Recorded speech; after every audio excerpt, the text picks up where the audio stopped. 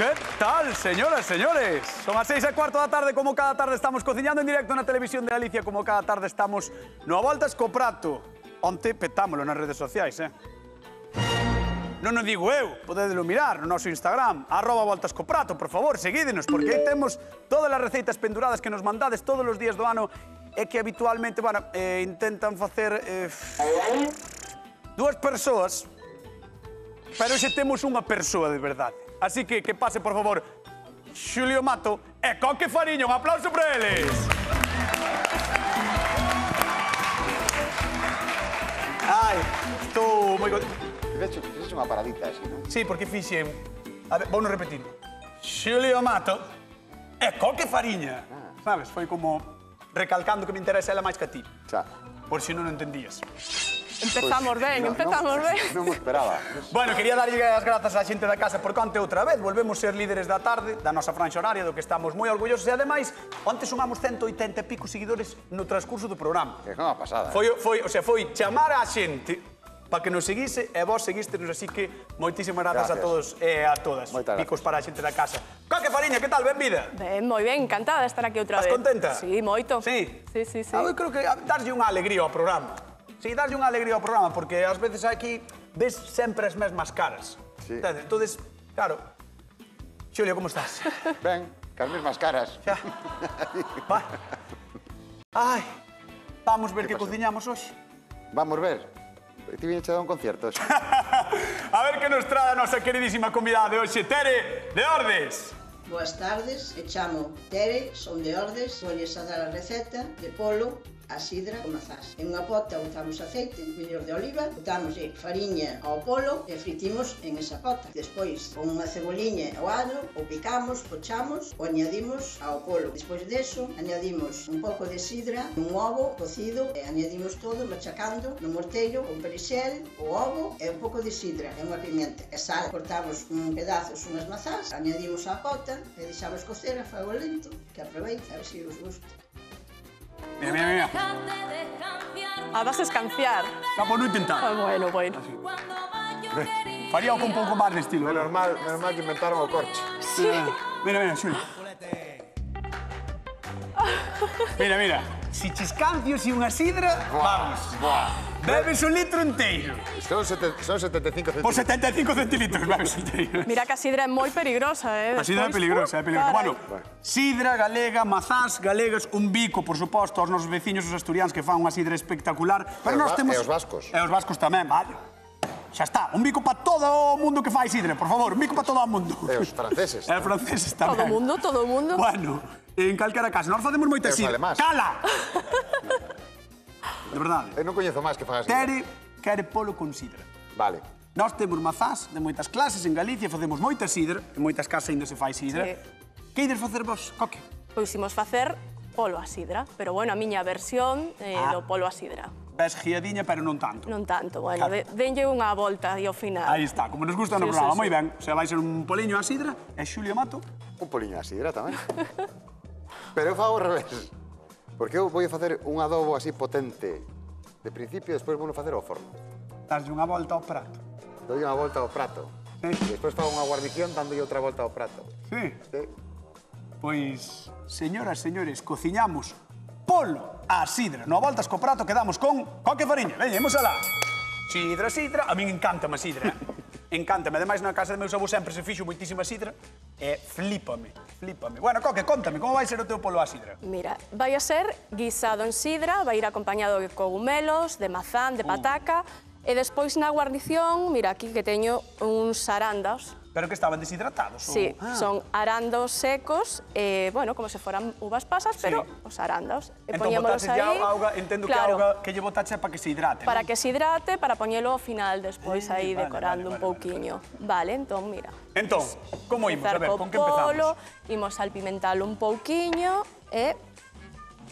Mira, son uns tanquiños de polo, uns dous zancos por persoa, máis ou menos, quitei un pouco a piel, un pouquiño de sal, de pementa. E, e para, para este polo a sidra valería calcara parte do polo sí, ou valería. é o tanco porque a ti che gusta máis? Eh, porque a min A min gustame, eh, normalmente na casa suele gustar, é eh, ah, jugosito, é sí. fácil de comer, fácil de encontrar, está moi do precio, entón... Vale, pois pues, Pois Zancor, moi moi ben, eh? me vendendo moi ben, moi o, ben. o Zancor de polo, eh? Bueno, o plato enteiro, xa sí, verás, sí, o plato enteiro, pero o Zancor de polo xa se si foras carniceira, se si foras carniceira eu compraba. Bueno, pois pues mira, pois pues, catro eh, zanquiños me levei, eh? Eh, si, sí, catro zanquiños. Vale, moi ben. Entón, valo pasar pola... Si, sí, agora vou no dourar un pouquiño uh -huh. e despois retiro e nese mesmo aceite vou botar as verduras. Moi ben. Pois que nos chama a xente da casa, 664-48349 e tedes o teléfono da Voltas co Prato. Queremos saber se cociñades con sidra ou non, e sobre todo, se facedes sidra na casa, e aínda máis, se facedes sidra na casa, estamos en 345 en Ordes, podedes mandar sete caixas se queredes sen problema ningún. Vale, non hai ningún problema, nós recibimos toda a sidra posible, vale? Así que, eso, chamade, e eh, recordade que repartimos cartiños 50 euros dunha vez e 50 doutro na Voltas co Prato da Televisión de Galicia hoxe cociñando polo con sidra, con coque e fariña. Eh, a ver, importante, mazás. Mazás. Vale. Mazás vou botar unha aquí, co polo, co polo. despois, co polo cas verduras, e outra vou na guardar para a guarnición, para acompañamento, Perfecto. que vai ir salteado, con manteiga, con sidra, e cos arandos. Entón, ti vas utilizar eh, as mazás e a sidra, por sí, outra banda. as mazás e a sidra. Vale, moi ben, pois vou te deixar aquí traballando e vou marchar con Don Julio Reinetas Mato. Por que Reinetas? Porque non é unha mazá Reinetas. Sí. Está? Vale. Bueno, vou facer o meu atoliño do polo, vale? Porque non, que non, non entendo como... Mira, este trebello coñecelo, verdad? É o que utilizas ti para tomar esas proteínas para poñerte así de guapo. ¿Ah, así, ¿no? sí, pero no, bueno, no, sirve eu, con máis cousas, vale? É a proteína que tomo no. la concha, Bueno, pues mira, vamos a hacer cunhas, unha serie de ingredientes que vou ir contando. Ajá. Vamos a facer un adobo así potente, potente, que nos sirve despois como salsa, xa os explico tamén. Sí. Entón vamos a ir facendo. Mira, un pimento vermelho. Espera, espera, espera, espera. espera. Está, o sea, estarme dicindo vas meter todo en cru? En cru, en cru. Sí, sí, sí, en cru. Ti sabes que salsa de churrasco se fai en cru, é un adobo estupendo. Xa, bueno, pero ti non inventaste o chimichurri. Non, non inventei, pero millerei non. vale, vale. vale entón, vas meter mira, todo en cru aí. Todo en cru. Un pimento vermello, unha cebola, ¿vale? Esto un poco mira, sorprendido. ¿cómo es? Mira, sete, sete dentes de allo, ¿eh? Sete dentes sete de allo. Sete dentes de allo. Sí, porque... Calcara este, este, che dá un bico despois de comer esto. Esto é moi... Non, non conto levalo, prefiero, prefiero comelo. Mira, este é moi poquinho polo, pero aquí vai nos, vamos a facer unha cantidad suficiente pues, para pa un polo grande da casa, ah. para pa algo un pouco xeitoso. É unha vale? pregunta, ese adubo que vas facer pódese conservar de alguna maneira ou non? Na nevera, sí. Sí, canto Na nevera, xa che digo despois como. Pois pues igual 15 días tranquilamente, sí. Sí, sí, sí. Estás botando limón. Mira, estoy botando ahora zume de un limón, ¿vale? Bueno. Eso ver, está eh, un pouco eh, sorprendido. Sinxelo, non? Mira, un pouquiño de pimento doce moído. Un par de culleradas, vale? Un pouquiño, dos un culleradas. Un par de culleradas, pero sí, sí. é, é moita cantidad. Mira, orego. Vale. Eneldo. Esto, eh? esto va... Ene, neldo. Eneldo. ¿Eh? Eneldo. Esto, esto podemos votar. Ah, vale, pues aneto. eh, herbas, aromáticas. aromáticas. que nos gusten, ¿vale? Vale. Eu recomendo sempre botarlle ourego porque vai, vai moi ben. Eh, a ver. E, eh, por supuesto, vamos a votar a sidra. A sidra que é a protagonista de hoxe. Pero estás facendo isto porque hoxe estás vago e non queres cociñar ou porque no, realmente vai estar... porque é unha receita moi chula. Vale, vale. Isto é unha receita, mira, e agora, esta, isto podes facer con este trebello, pero se tes unha batidora normal na casa, Tens que facelo, pero o doble de tempo, porque isto ten unha, un sistema de doble hélice que titula máis rápido, pero ah. outro que a túa, que a túa hélice vas un poquinho máis rápido, máis lento. Ah, non fai moito ruido. No, no, no. Mira, vai non collendo, vai collendo. E con todo isto vamos a adobar o polo. Ten que coller... Oi, oh, Xulio! No, mira, mira, mira, xa está. Ahora entrou, entrou, claro, entrou, entrou. Claro. Entrou. A todo, como a ti, para coller a, o tema da cociña, sí, hai que sí. darlle o seu tempo. Hai que darlle, hai que darlle o truquillo. Mira, bueno, xa pois... estaría. Ahora xa o temos. Unha vez vale. que xa temos ese adubo de xulio mato, eu creo que podemos chamar a nosa convidada de hoxe para que vexe isto. A ver que lle parece a Tere de Ordes. Un aplauso para ela.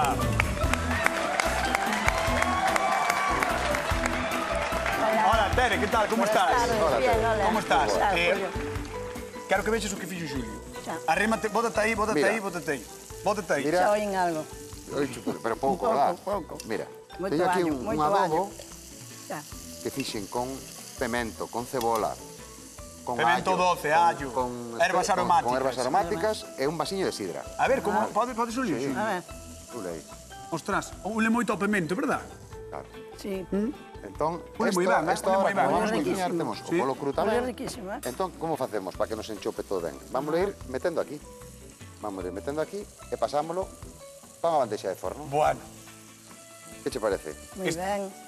Así vai, ven adobadiño. Vai estar moi rico, moi rico. E vai estar moi bo. Despois vámoslo completar cun par de culleradas, pero queremos que nos quede o máis empapado posible. Claro, porque isto despois entendo que o vas mandar ao forno E no forno xa se vai cociñar tamén claro, o propio... Claro, cociñar a verdura... E, eh, eso, cociñar... o adubo que fixeches, pero, claro. Bueno, esta verdura, tamén así crúa, como che decía, como no chimichurri, tamén é moi agradecida para unha carne asada, eh? Sí, sí, como, sí. Como é a do polo. O que sobre vamos guardar e vou explicar como facemos para conservalo, para conservalo. ¿no? Como vai levar, mira, aquí este quedounos un poquinho sin adobo. E agora sí. completamos o resto do zanco por onde agarrábamos nós.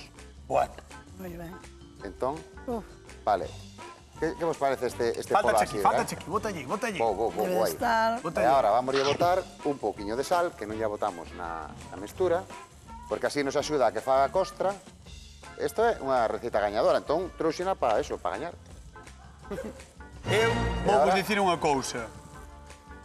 Gústame moito esta receita porque leva 5 minutos facela literal. Non leva nada. E agora, e agora 40 minutos no forno e mentras faz unha guarnición ou tomas unha cerveza con un amigo. Pois mira, vamos ver, vamos ver o de coca, mentras tanto xe che vou contando que... Vale, vale. Tere, bueno, eu esta, esta receita... Vou ao horno, eh? Vas ao forno? Sí. Canto tempo? 40 minutos a 180 grados. Vale, 40 minutos a 180 grados no forno. 40 minutos 180 grados. Dicía eu ter que me ven ben a receita de xulio porque son un pouco vago para cociñar, entonces vamos. Pois eu... Si ti tamén.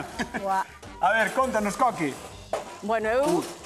Estou vou guisar o polo con verduritas, con setas, con mazán e con sidra, vale? Puxen as verduras a pochar, agora puxen o polo mm. e voulle metendo unhas setas por aquí. Champiñóns. Champiñóns, uns cogumelillos, ben ricos. Melos, oh, mira estas que son dama, eh. setas eh? de ostra. Despois metémoslle... Podes, podes, eh, podes, podes achegarte, eh? Xa, xa, xa. É que super, eh, a receta super. de Xulio dixo que viña a gañar, pero que eu tamén vin gañar, entón imos ter un problema aí, a ver. Claro, e aí estamos vendo unha das protagonistas, é que é a mazá, Amazán. do día de hoxe.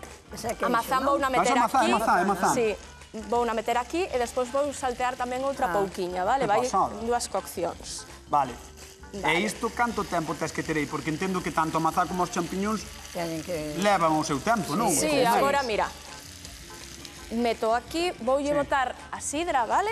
Ajá. Así, un pouquiño de sidra. Moi ben. Vale. A sidra, a protagonista do día de hoxe, no voltas co prato. Tere, que che parece isto? Me encantan as dos. Mira, sí. Okay, sí. Un pero... pouquiño de uh, caldo tamén, Mira. pode ser de verduras ou de polo, neste caso de polo. Uh -huh. E agora xa estaría, e tapalo eh, e deixalo aí, que faga chup, chup. e listo, xa está. Pois ten un aspecto maravilloso, eh, Tere? Tamén é moi sinxela, eh? Sí, sí. É sinxela, pero está moi rica. Eh, é gañadora. A ver, a ver, despois a ver que dite. Tere. Non riñe con gañar. Pero digo que tamén é sinxela para cañotas. Digo, decía por ben. É fácil, mételo todo aquí e listo. O sea, por que teño que levar eu Cando son eles dous que están loitando por vencer. No, no, se eu dicía que é unha receita que podes facer tranquilamente eh, que é moi sinxera. É eh, eh, pinchar a pataca que este cocidiña, depende, sobre 20-25 minutos. Depende do polo. O polo da casa sempre tarda un pouquiño máis. Vale, 20-25 minutos aí ao chup Media hora. Media horiña. Maravilla. Tere, non te molles por ninguna das dúas? De momento non. Non? Eh. Pois entón no. non me queda máis remedio que mandarte á zona de sufridores. Bueno, pois pues, tendré que ir. A sentarte na cadeira. Vale, vale, vale. vale. Un aplauso para Tere que está con nos, que vende Ordes. Ose voltas volta scoprato. Ahora xa montamos. Nós somos habituales en, en montala neste programa. Temos que ir a Asturias a ver que me din. Puri, que tal? Boa tarde. Buenas tardes, Cañote, buenas tardes. Como estás? Moi bien, e tú? A ver, moi ben. Para ser asturiana, tes pinta de falar galego, eh? Bueno, así así. Así así, máis ou menos. Más ou menos, eso. a ver, contame, a ti gusta che sidra, gustanche cociñar con mazás ou non? No, con manzanas no, pero la sidra sí. A sidra sí. A ti passe sí, como a pois. min, a sidra... Facedes sidra na casa ou non? No, no, no. Eso é unha Pero con pena. la, con la merluza está muy buena, ¿eh? Oh, que rico. E co, merlu- e eh, co rape, o co peixe sapo. Tamén, eso, Sí, eso sí, podemos sí. anotar, eh, Xulio? Sí. Para, Claro. sí, sí, sí, para, para utilizar tal como di Puri. Mira, Aí estamos vendo como están as dúas receitas traballando, a que, as que fixo Coque, a que fixo Xulio Mato, non sei se a ti algunha das dúas pois, che causa máis curiosidade. Mm. Bueno, no, ninguno, los dos bien, ¿eh? Sí. Yo cocinaba mucho y el pollo lo hacía mucho, pero yo lo hacía la cerveza. Ah, cervexa tamén, eh? Indo falamos sí. antes, verdad, do programa, sí. Xulio? Sí, que tamén sí, ten sí. que estar moi boa, eh? A tamén, moi ben, moi bueno, moi bueno. Bueno, Puri, pois moitísimas gracias por chamar e gracias por ter a sidra tan espectacular que tedes en Asturias, vale? Muchas gracias e un saludo eh, aos cocineros. Eh? Un bico, gracias. Un bico. Hasta luego. Chao, chao, chao, chao. Bueno, contamos que Galicia é terra de mazás, sí, sí. Temos moitísimas variedades propias e outras que viñeron de fora que ben se lles notan os nomes. Por exemplo, a cu de galiña, nosa. A reinita do Canadá, pois non é nosa. É así con todas. E que facemos con tanta produción? Pois moitas empanadas e tortas, pero tamén Sidra, que temos tradición dende sempre. Sí, amigos, antes de que houvese uvas e viño en Galicia, no tempo dos castrexos hai 2000 anos, polo menos, aquí xa viveamos unha especie de sidra. Así que oficio non nos falta. Neste momento podemos presumir de ser o maior produtor de mazá sidreira do Estado. E só en Galicia producimos máis de 2 millóns de litros cada ano. Anímovos a probala, por suposto, e a cociñar con ela. Contádenos nas nosas redes sociais que tal vos queda en donde en arroba voltas co prato, que estamos intentando pillar a Coque Fariña, porque ten 15.000 seguidores. 15.000 seguidores, eh. 15.800, eh? eses non te esquezas tampouco. Ten Coque máis seguidores que Luara Galloso. E, eh, e nós. En canós. e iso é porque cociña moi ben, así que Coque, cal é o segredo para cociñar tan ben e ter tantos seguidores nas redes sociais?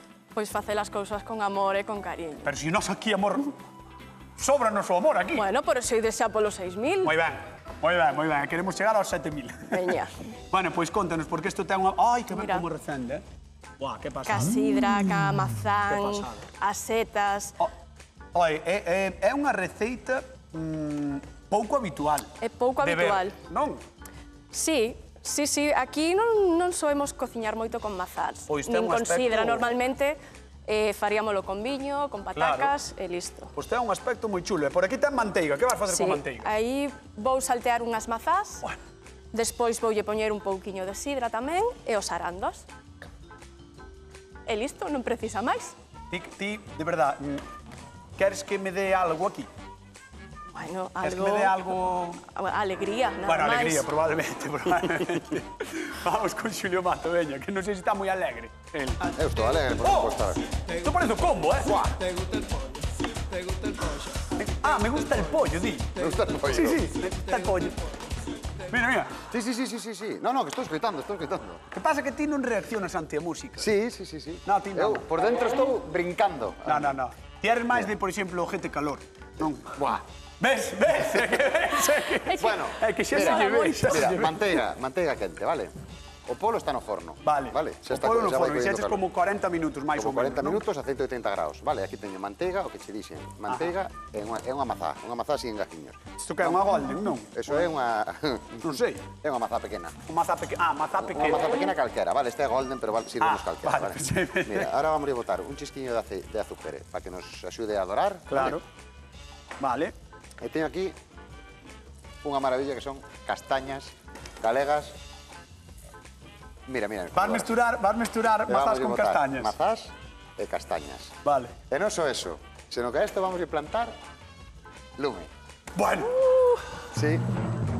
Atención, porque hoxe pode ser un día espectacular no programa. Sí. Vamos mesturar na nosa guarnición mazás. Castañas que xa están cocidas. Castea, vale. Castañas.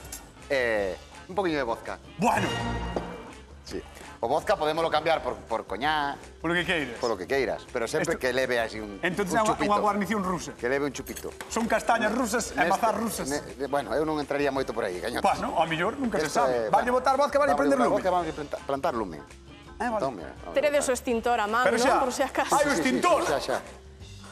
Hai o extintor onde está, que non me xulio. Eh, vamos a baixar as luces, vamos a baixar as luces. Un pouco de calor. Vamos a baixar. Hola, pois si que arde. Un aplauso para Xulio Mato.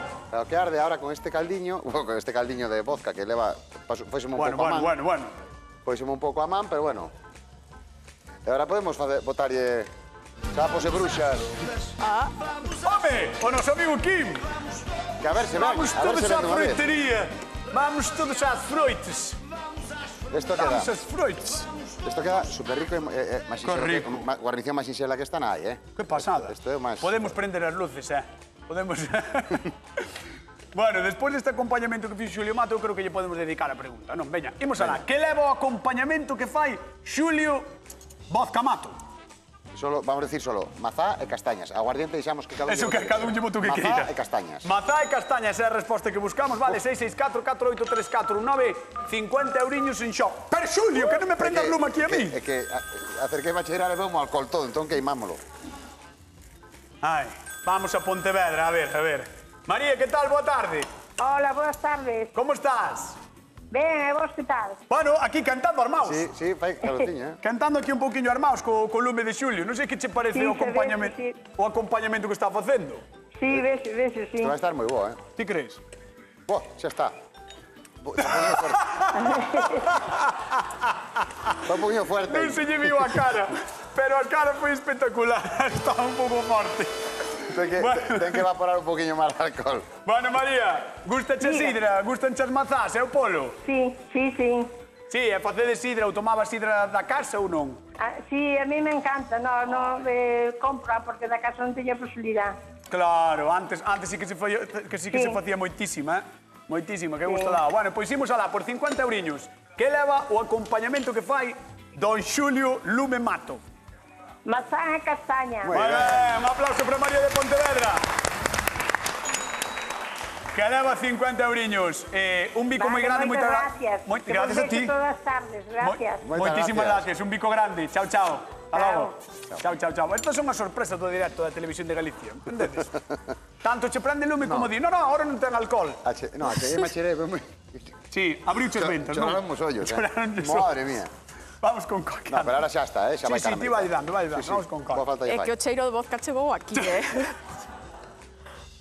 pero, pero cheiro ben, non? Ela aquí, sí, sí, non, sí. ela non ten problemas coa súa receita. Nada. Estás aquí tranquilamente. Nada, sí, sí, sí. Dourando as túas mazás, manteigo, sí, sin problema sí. ningún. O polo facendo o chuchu. O polo facéndose. Bueno. Nada, en canto estén douradiñas, sí, meto sí. a sidra, os arando, e vale. listo. Porque as mazás primeiro botaches de manteiga, non? Sí. Pero e agora que... estalas dourando un pouquiño. Sí, pero voulle meter a sidra xa para que vaya collendo o sabor. Vale. Ostras. Mira, xa verás, agora vai chegar o olor, todo así. Si, sí, este sí. non é tan forte como o de Xulio. Non, non. no, este non. No. Sí, sí. Que pasa? Despois falamos, hai cale suave. Moi ben. Sí. E, eh, además, mira, chega che o cheiro do sí, polo, sí. unha Parece mestura. como que estou... Mira, se o cheiro así parece como que estou comendo prato, eh? Claro, está todo... Faltan os arandos. Sí, sí. Yo noto, eh? Está riquísimo. Sí, Esto sí. vai estar espectacular. Sí, sí. Moi ben, eu creo que agora é o momento de ir falar con Tere.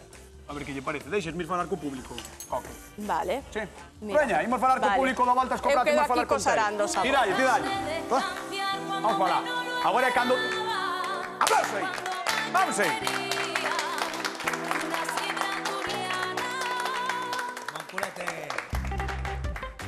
castañotas. Non me mintas, Tere, tío eh. do vodka non o esperabas. Non, no, Nin carai. ti, nin eu. Non, no. Ningún dos dos. Andábamos con sidra, pero non con vodka. Xa, bebes un pouco arriba, eu creo. Sí, bastante. E casi caímos un foco. Hombre. Eu xa temos aí un, temos unha bombero aí, Mari Carmen, chamase xa, lle estaba pedindo o extintor. Para que veñela. Eh. Isto... Pero bueno, Escándalo. tamén é certo que agora teño curiosidade por, por como sabe. Ten que saber mellor. Ah, me espero sin un poquillo botón. espero que saiba mellor. bueno, está sonando o está sonando o forno, teño que marchar. Vale, atende, atende. Vémonos en dos minutos. Vale, que non se queime. Veña, un aplauso que está con nós, con a voltas co prato. Vamos con Xulio Mato, veña. A ver. Bueno, eso cantou. Xulio, creo que tens que sacar isto, non? está chulísimo, eh? Polo que vexo a través do cristal, está chulísimo. Bueno, bueno, bueno, mira, bueno, bueno, mira, bueno. Mira que pintaza, eh? Estaba en cru, eh? Estaba o seu adubo. Cru, claro, estaba en cru, pero ahora está... Ahora está cociñadísimo. Tanto, tanto. Que pasada. Mira, que colla una... Mira que cor. Mm. Eh, como con nada, vai co colle todo o brillo. Sí, sí. Eh? Ves? Vale, entón, vamos a... Espectacular, a eh? A empratar, Espectacular. vale? Espectacular. Mira, temos aquí... Buah. A mazá. Vale. Mira, que doradiño máis rico. Buah, ten unhas... Eh, eh, non é... De verdade que non é broma, eh? Ten un aspecto ten fantástico. Claro, pero... Fantástico. Eu, pero eu nunca teño, teño razón. Na casa pasa igual. A ver, Ere, tes métodos un pouco ortodoxos, digámoslo no, así. Mira, tes... Daquela maneira, entendes? Non mira sei. que non che, se non che gusta a mazá, pues isto as patacas fritas está de muerte tamén, eh? vale. Ou uns cachelos. Si non che gusta prenderlle lume á cociña, faz unhas patacas e xa está. Claro, non te tens que matar, pero mira. Que guai. Mira que pinta, que salsiña. Bueno, está de lo vendo na casa, eh? Espectacular. Eu creo que lle podemos dar un forte aplauso porque isto é unha maravilla. Don Xulio Mato. Eh, que imaxe, eh? Que imaxe dos dous zancos de polo aí cruzadiños. Que pinta ten iso, eh? Descansando eh? encima das castañas e da mazá. Espectacular, moi moi bonito. Vamos ver o de coque, a ver. Coque fariña, que? Mira, xa está, Como vas? xa está todo listo, mira, poliño, xa está. Pois creo que é o momento de empratar, non? Pois veña, vou wow, as, as, as mazás cos arandos. Sí, sí. As mazás cos arandos.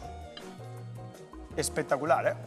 moi, moi, moi boa pinta. Non Ese é o de Xulio Mato. Non é unha guarnición que se use moito por aquí, pero sí, eu sí. convido a xente a que aprobe, porque a vai, verdad... Vai. Epa, non quere este polo non viaxeiro. Chegoulle o cheiro do vodka e... sí, sí. Mareouse o zanco. Vai ser culpa miña, Mareouse claro. o zanco. Olha, teu tamén ten, unhas, ten un aspecto maravilloso, eh? Temos ese guiso que fixo coque fariña que estades vendo na casa, acompañado tamén de mazá e de sidra, evidentemente. E a maiores ten esa guarnición que son mazás e arandos, eran. Arandos sí. deshidratados que lle botou un pouquiño de auga. Así que, señoras e señores, despois de ver isto, pido un fortísimo aplauso tamén para Coque Fariña! eh, eu creo que podemos facer a pregunta de concurso. Que te parece? Dalle. Sí, vamos alá. Veña, pregunta de concurso. Con que acompaña Coque o seu polo? Con mazáns, Ajá. cogomelos e arandos. Tres cousas buscamos, eh? Mazás, cogumelos e arandos. 664-483-419. Chamade porque temos 50 euros en xogo e chegou o momento de probar para Tere. E Ordes, un aplauso para ela. Vamos, Tere.